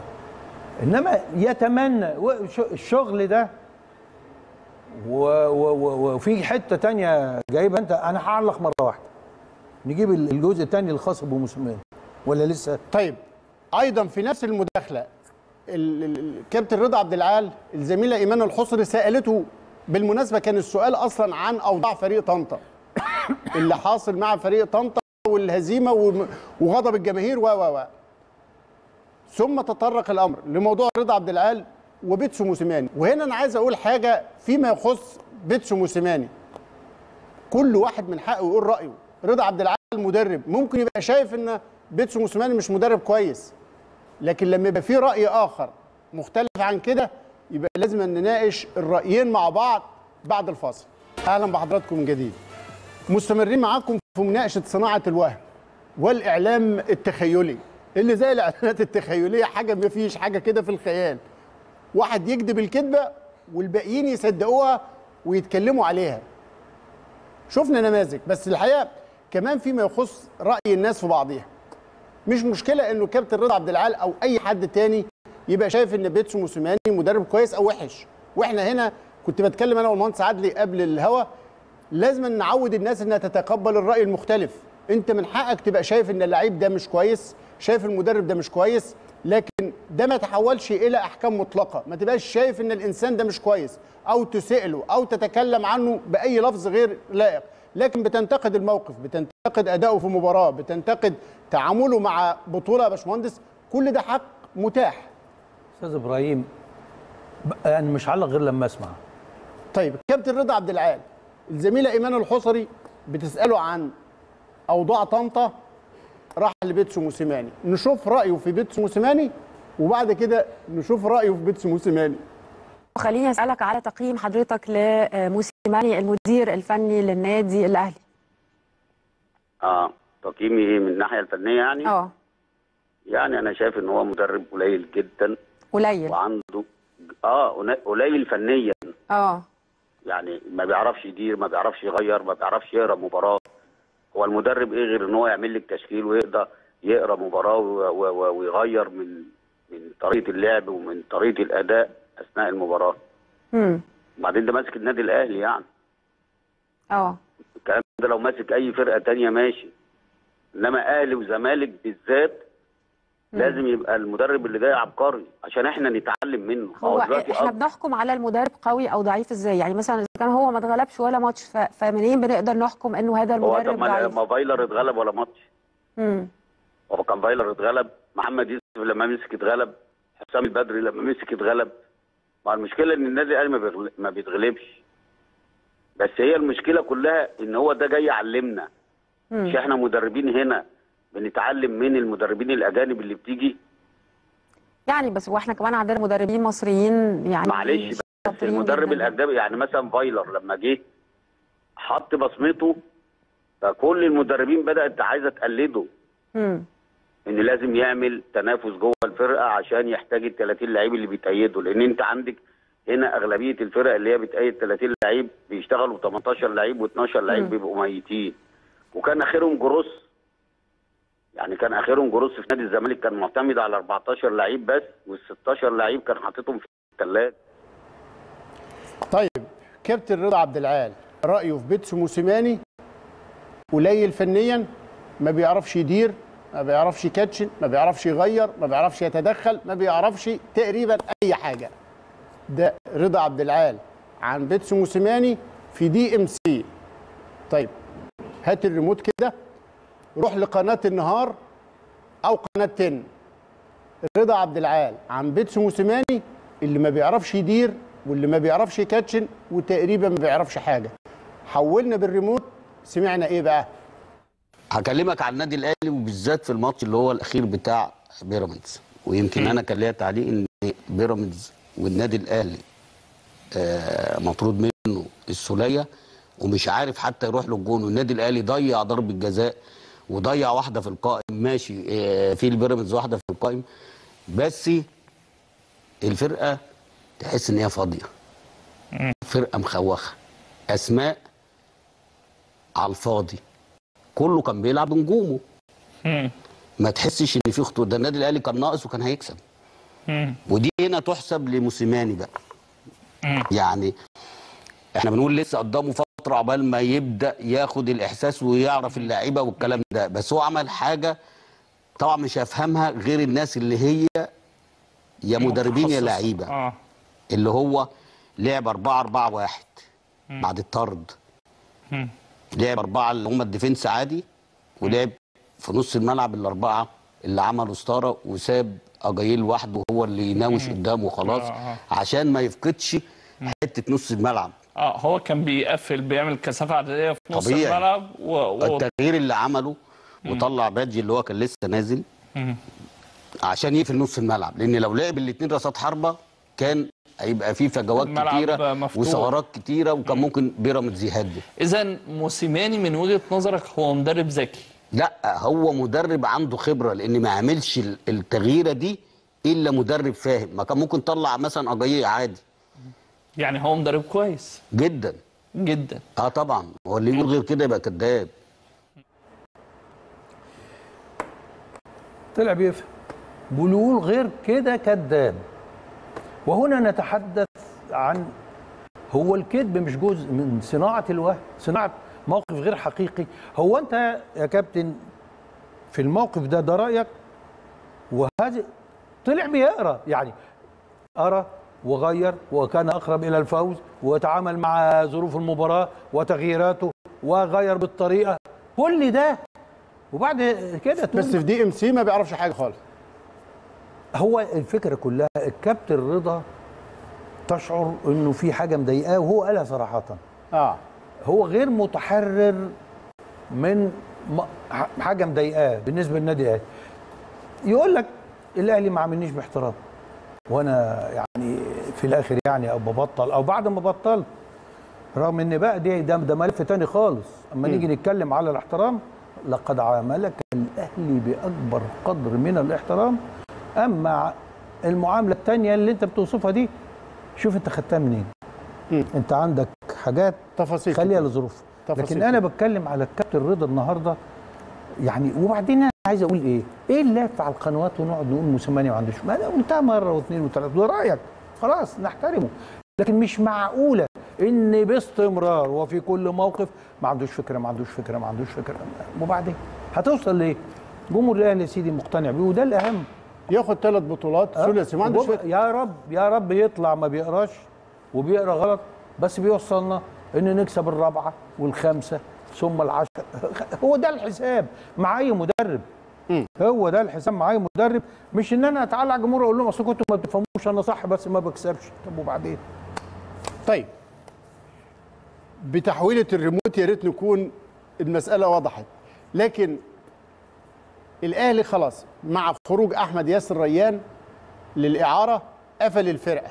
اللي بره بره واللي جوه جوه. لا هيعير حد ولا هيستعير حد. لا هيضم حد ولا هيمشي حد. طوية الصفحة. عشان يركز. ومع هذا خرج الزميل سيف زاهر قال إنه نادي بيراميدز وفي إصرار على بيراميدز تحديدا. نادي بيراميدز عنده عروض نشوف لمين. في لاعب في النادي الأهلي هيقدم رسمي بيراميدز هيخش رسمي يقدم عرض رسمي. ممكن يكون محمد شريف ممكن يكون أي حاجة أنا بضرب أمثال يعني.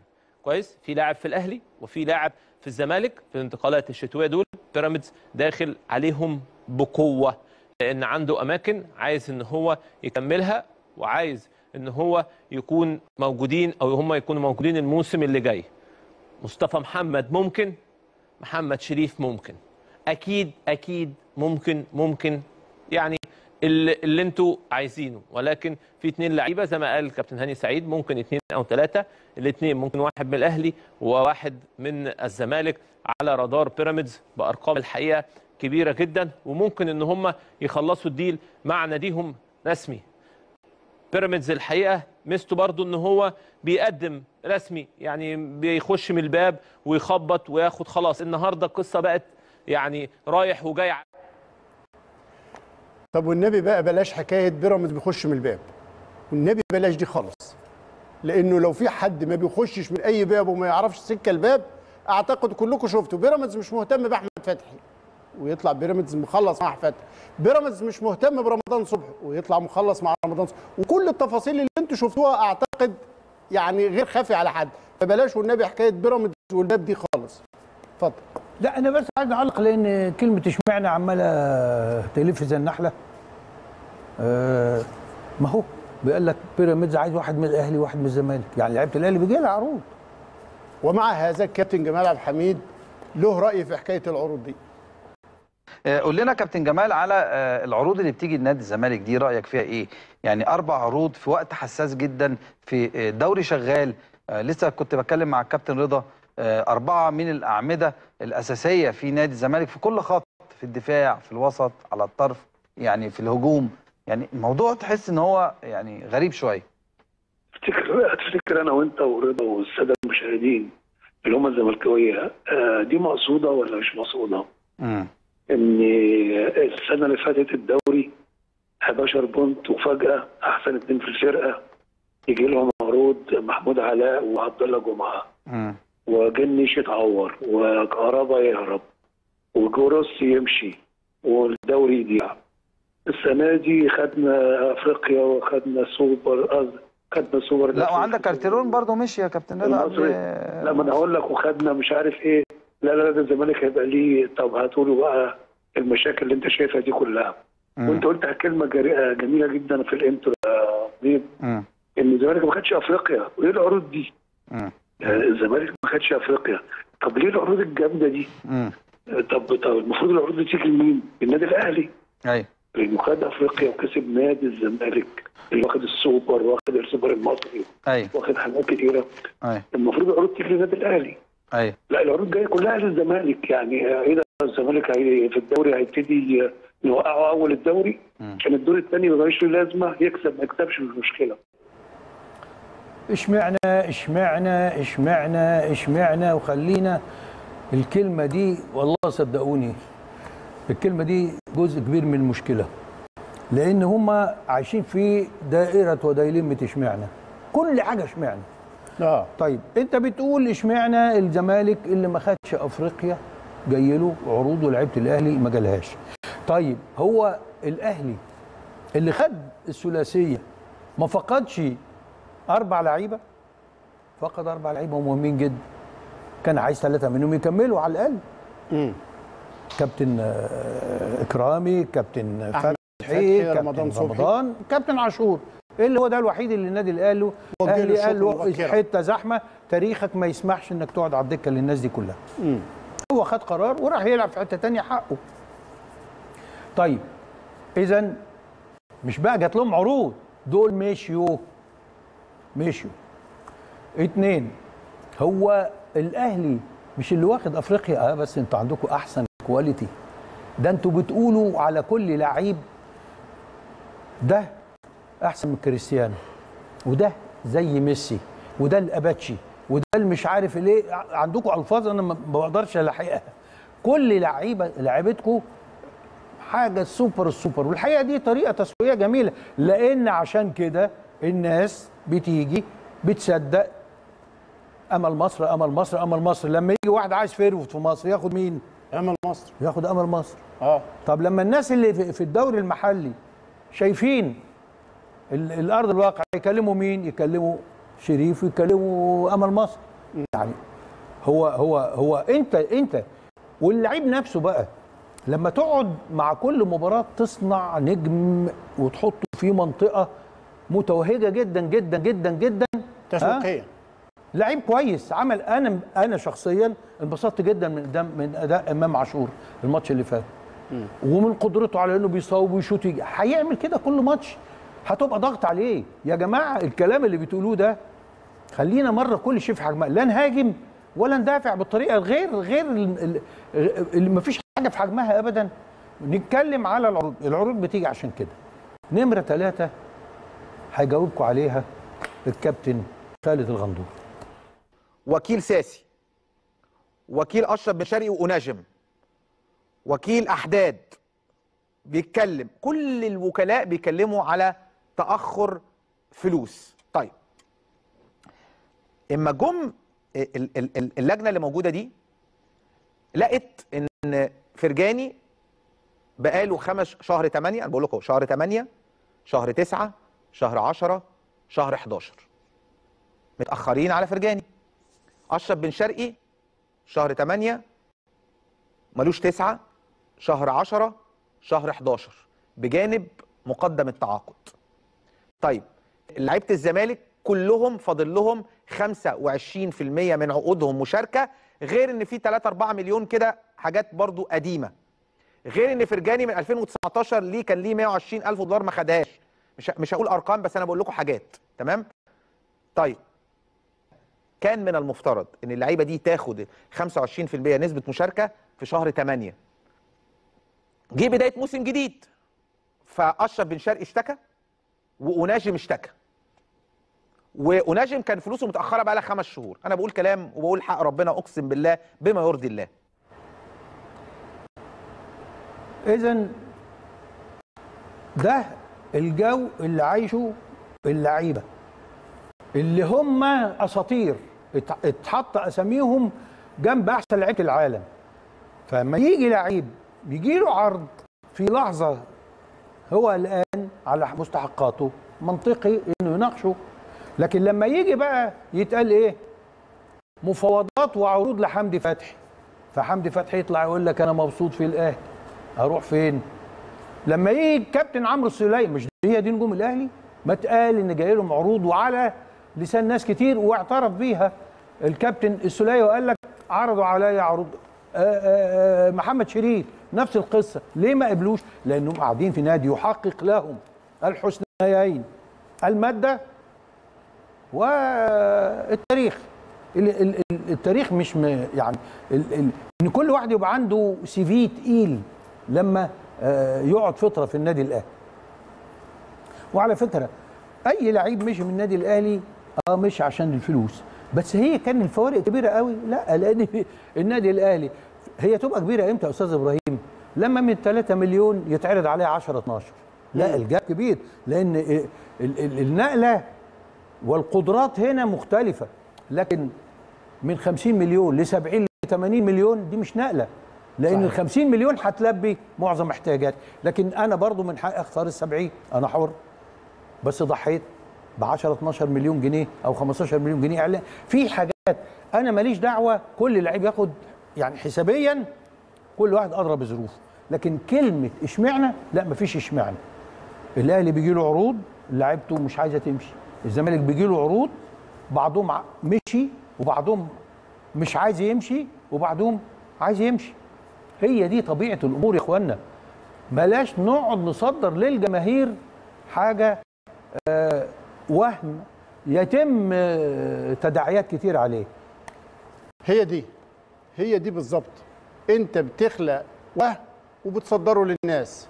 عشان تبعد المسؤولية عن نفسك. لكن الحقيقة فين؟ أعتقد سمعتوا جزء منها وبعد الفاصل هتسمعوا أجزاء تانية مهمة. أهلا بحضراتكم من جديد. كان في تفاصيل كتيرة الحقيقة لفن صناعة الوهم وتصديره وخلق الأزمات من خلال الإعلام التخيلي وكان أزمة الفار أيضا. وما حدث من الكابتن محمود دسوقي في المباراة الأخيرة وإدارته مباراتين للأهلي كل مباراة حدثت فيها مشكلة في الفار. لكن لأن الوقت بيداهمنا. هناك الكلام الكثير عن أسرار الملك. لما جده يعتزل. لما جده يعتزل يبقى حان وقت كشف الحقائق. لما جده يعتزل زي ما بيمر المهلة القانونية الطبيعية على أسرار كبيرة حان وقت الكشف عنها. محمد ناجي جده المهاجم الدولي المرموق والحقيقة واحد من اللعيبة اللي أمتعت منتخب مصر والنادي الأهلي خاصة في كأس الأمم 2010 بأنجولا يا باشمهندس أعلن على الملأ اعتزاله كرة القدم وقال تويتة مهمة جدا هقراها وهسمع رأي المهندس عدلي عليها. قال جده أشعر أن هذا هو الوقت المناسب للاعتزال. الحمد لله حظيت بمسيرة رائعة كانت أكبر كثيرا مما كنت أتخيل. ممتن جدا لكل لحظة. أنا محظوظ أني حققت كل أحلامي ولكن هذا لم يكن سيحدث لولا تشجيعكم لي. أنا الآن جاهز للرحلة الجديدة في حياتي. شكرا لكم جميعا. ده محمد ناجي جدو المهاجم الدولي هداف كأس الأمم الأفريقية 2010 بخمس أهداف أفضل لاعب مكتشف في كأس الأمم 2010 ست بطولات مع النادي الأهلي ثلاثة دوري بطولة واحدة لدوري أبطال أفريقيا وبطولة سوبر وبطولة سوبر محلي كأس الأمم 2010 ومسيرة رائعة جدا للاعب مهم يا باشمهندس. جده عايز تعرف القصة ولا؟ نشوف حاجات لجده وبعدين نتكلم. أنا قبل ما أعرف القصة لأن دي فيها كواليس مهمه جدا ولا ينبئك قدر مسؤول. مسؤول كان فعلا تقريبا هو اللاعب الأهم في معادلة جده مع النادي الأهلي في 2010 والقصة الكبيرة اللي فيها تفاصيل مثيرة الحقيقة لأنه كانت ممكن هتودي ناس السجن. كان في ناس معرضه إنها تدخل السجن بسبب جده.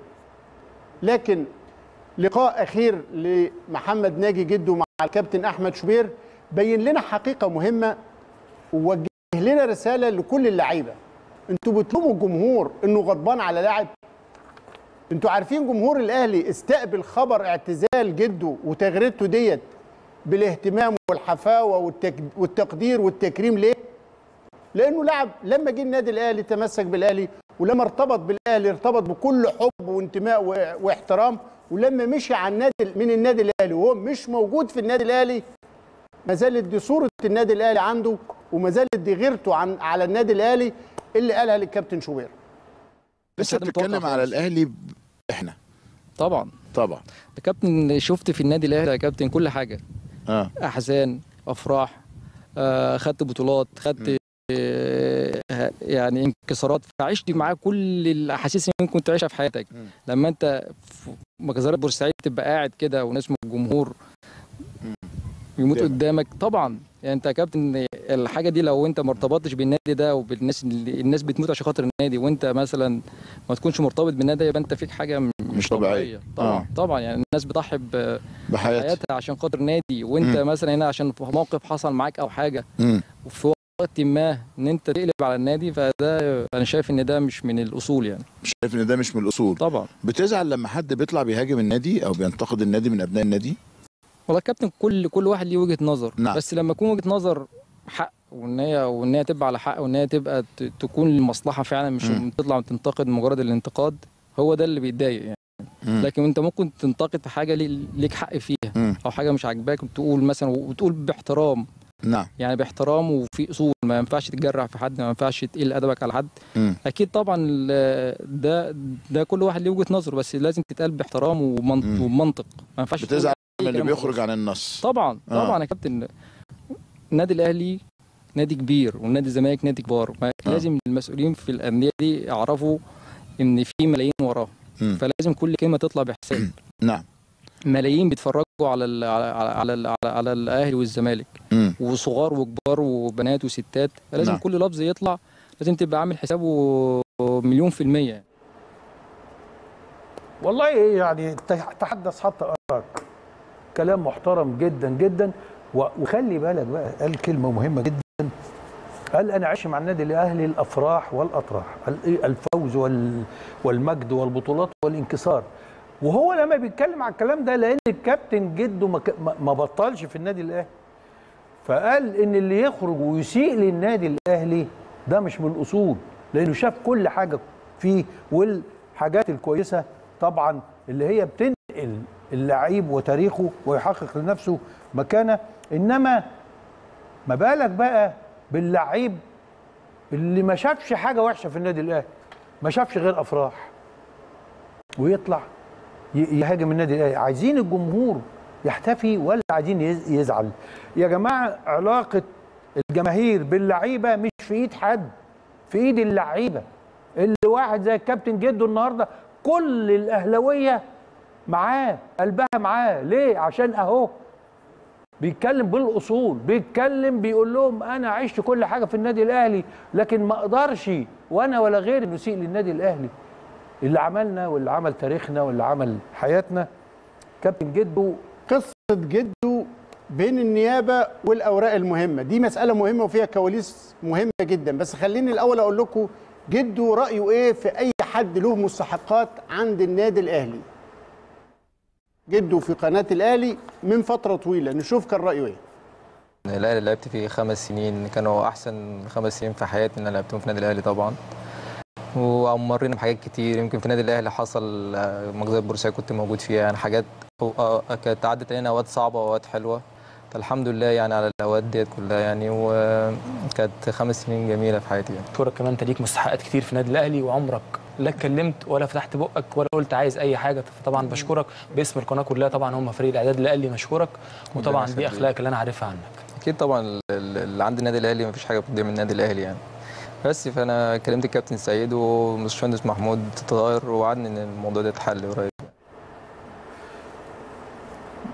اللي عند الأهلي ما بيروحش لأن الحقيقة هو كابتن جدو كان آه، يعني إدارة الكورة في وقتها جددت له بعد كده المدير الفني كان له رأي فكان له مستحقات بناء على التوقيع ده. و- وتسوى بالشكل المحترم وخد حقوقه بالاصول والاحترام اللي هو بيتكلم عليه. هو بيقول لك ليك حاجة اطلبها باحترام. آه. هذا نموذج اللي انت تحبه. هتهاجمه ليه؟ اللي بيتكلم على الأهلي كده رغم إنه خرج من النادي الأهلي. لكن هتهاجمه ليه؟ وقصته وهو جاي النادي الأهلي قصة من الحاجات. احكي بقى. اللي لازم التاريخ يتوقف أمامها. جده مهاجم في الاتحاد السكندري بص، 20 جده- 10 كابتن حسن خده للمنتخب فرقع في أنجولا. لا قبل ما يفرقع في أنجولا. أيوه. هو هو أنت ما خدتوش عشان فرقع في أنجولا. آه. جده كان في كلام ناس بترشحه الراجل لعبه يعني تابعوا الراجل ده في الاتحاد الاتحاد السكندري. تمام. وبدأنا فيها مهمة واتصالات والاتصالات الشخصية مع الأستاذ محمد مصلحي. على جده قال يعني إحنا في ال- يعني بدري إن إحنا نتكلم في الموضوع ده. آه، كان الكلام ده آه، قبل الانتقالات الشتوية بمدة يعني. امم ولكن هي كانت آخر سنة لجده مع الاتحاد السكندري. الاتحاد السكندري نما إلى علمه إن جده في جلسات إنه يروح الزمالك لأن جده ما كانش وصل له ان الأهلي عايزه. فالاتحاد السكندري بحس الناس المسؤولة لا إحنا نجدد له وبعدين آه، أول ما عرضوا على جده التجديد قبل أن يجدد. للاتحاد. للاتحاد. تمام. فدي مرحلة لازم الناس تفهمها. هو جده ما كانش عايز يمشي من الاتحاد بالطريقة دي. إن. أنا عادي خلص وأمضي في حتة بدليل انه في التجديد مضى للاتحاد. اتضح أه، الزمالك اشتكى بعد انجولا لما تألق والدنيا فرقعت. وراح وقال ده جده جه مضى عقود ومش عارف إيه وبتاع. لجنة شؤون اللاعبين بحثت الأمر قال لا من حق نادي الاتحاد جدد ووثق قبل وانت مش ما كانش من حقك انت زمالك تتفاوض معاه بعيدا عن ناديه فاتقفل الموضوع كده. جه النادي الأهلي بقى راح مخبط. كلمنا آه، الأستاذ محمد مصلحي مفاوضات أكبر مبلغ اتدفع في لعيب 8 وقتها. مليون آه. وقتها. وقت اشتريناه من الاتحاد السكندري ب 8 مليون جنيه. 8 مليون جنيه. آه كان لسه 2010 آه, آه. اذا مجدد أنت اشتريته منين؟ من الاتحاد. من قائمة الات... يعني اتحاد الكرة مش بس حكم للاتحاد السكندري. ده معتمد قيده. اعتمد قيده في قائمة الاتحاد. خلاص ده بقى لعيب في الاتحاد. تمام. فلما يجي أي نادي تاني بعديها يشتكي ما انت اشتكيت واتحكم آه. فكان الغرابة الغرابة الشديدة إن اتحاد الكره يقبل فتح باب تحقيق عندما تقدم الزمالك للشكوى من انتقال جده إلى النادي الأهلي. هو مش لعيبة خلاص. رغم إن هو أقر بقيده في الموضوع الاتحاد. اتقفل آه. اتقفل. وكان ينبغي أن يكون هناك عقوبة على النادي اللي تفاوض مع لاعب من, من وراء ناديه دي ده اهتمام الجرايد. والمواقع وقتها. آه. إن أنت تفاوضت مع مع اللاعب من ورا ناديه حتى لو مضالك يعني أنت بتسعى لإيقاف اللاعب. ها؟ أيوه بس أنت نفسك عليك جزء من الخطأ. فراح جده. الخلاف هنا بين مين بقى؟ الاتحاد السكندري وزمالك. واللاعب. وكان عندنا ماتشات المفروض والقيد الإفريقي و و و فاتحاد الكرة. برضه للغرابة الشديدة انت بتحقق. مش يجوز التحقيق ينتهي إلى عدم احقيه الزمالك هي كلمة. يعني هي كلمة. يا جماعة أنا اشتريت جدو من الاتحاد السكندري. الزمالك اشتكى. ما هو سبق له الشكوى ضد الاتحاد السكندري واتحكم لصالح الاتحاد السكندري. اذا خلاص. طيب الموقف الاداري ما أنا. بحكي لك. هو ده مربط الفرس. آه. لأنك لما رحنا لجنة شؤون اللاعبين تمام. تولى الأستاذ هشام عبد ربه المحامي. آه. محامي جده أيوة. مش النادي الأهلي آه وأنا رحت. فوجدت الأستاذ عزام. أول مرة ألتقيه. اللي هو دلوقتي بقى يعني أحد خبراء ال- اللوائح يعني بيمثل نادي الزمالك فجيت أقعد ال- ال- الأستاذ المشطه الأستاذ آه، آه، صالح المحامي الأستاذ آه، ومستشار جديد ما التقيتوش قبل كده كان هو رئيس ال- الجلسة. فقال لي لو سمحت أنت هنا بت... ما, بتمثلش حد. ف آه، المهم قلت له أنا هنا بمثل الاهلي قال لي الاهلي مش ممثل. قلت له أنت واقف لي اللاعب. خد قرارك بعدم إيقاف اللاعب لحين انتهاء التحقيق أنا ماليش دور. سلام عليكم. اللي يدهشك إن طلعت أوراق وإيصالات طعن فيها جده بالتزوير وقال إن أنا ما مضيتش إن أنا استلمت مليون أيوة وربع باين. أيوه. آه.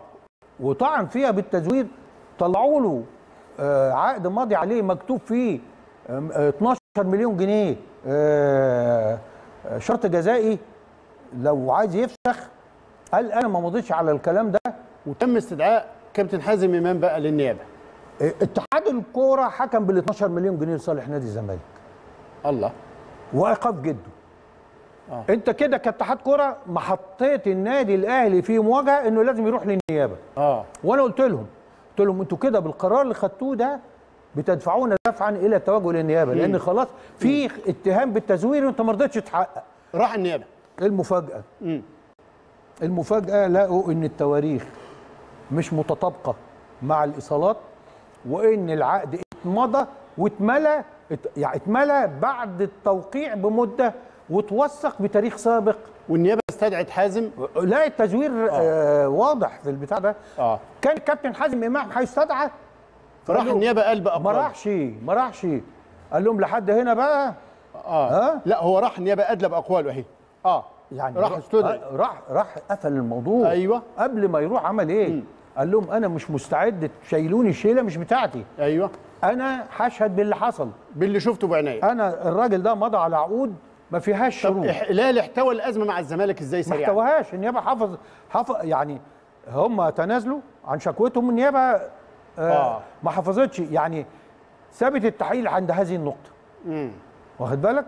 والزمالك الزمالك يعني راح دفع مليون و200 ألف جنيه في حساب جده جده. في النادي الأهلي في البنك آه. وجده يرجعها عشان يبان إنه خد فلوس من الزمالك بس بعد ما انتهى الموضوع وانتصرت و... آه وعلاء مقلت حكمة النادي آه الأهلي طبعا جه. جه لحد النادي الأهلي وحط الفلوس في البنك علاء مقلت آه يعني قيل وقتها أنا آه.